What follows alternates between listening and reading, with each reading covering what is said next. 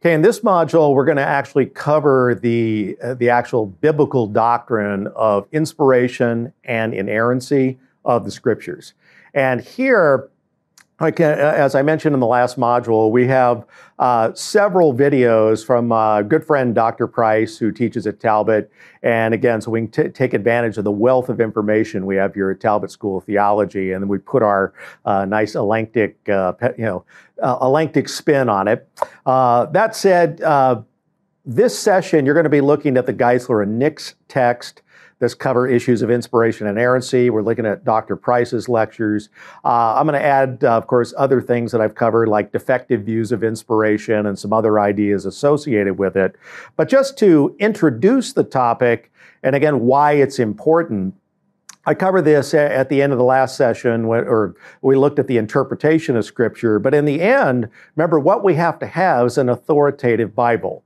So remember, Romans 13 1, that's where we start. All authority comes from God. Okay.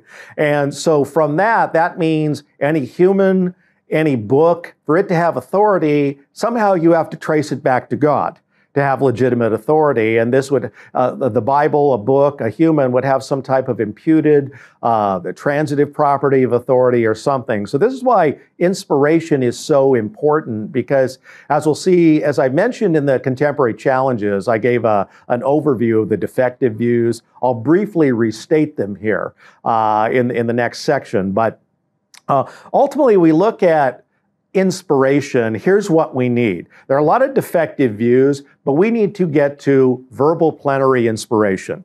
Uh, verbal, the words plenary, each and every or all, okay? Each and every word of the scriptures in the autographs, okay, is inspired. And that means God is the source of it. God produced the words of the book. And we see this again in a number of texts 2 timothy 3 16 17 all scripture is god breathed now there it's important to note when you're doing your exegesis we're looking at the foundational verses here is that it doesn't say all apostles are inspired it doesn't say that you know all prophets are inspired it says the books the writings are inspired by God.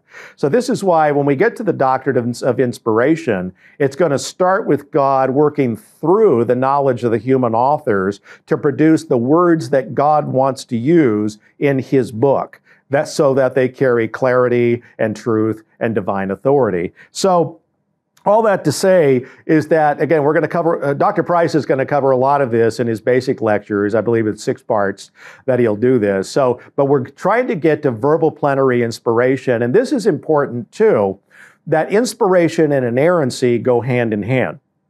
See because since this is god's book and frankly, we could spend the whole semester on inspiration and inerrancy. But we look at inerrancy, the defective views of inerrancy go along with the defective views of inspiration. Okay. You can say that, yeah, the Bible has errors, but errors in what? But if you're saying God produced the book, you'd have to say God made the errors.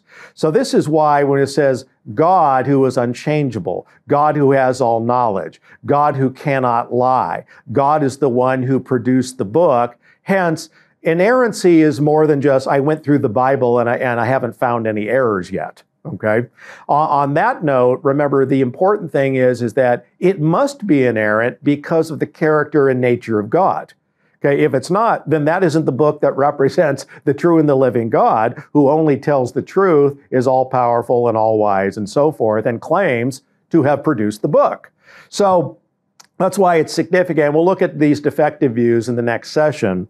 But so that's that's the the very concept of inspiration and errancy that we need to get to to have a Bible that ultimately we can bow our hearts and bow our knees to and actually let it command our conscience and bind our beliefs. But as we'll see, you know, as over the, the centuries, the defective views creep into the church, what it does, it ends up diminishing or eliminating the ultimate authority of the Bible.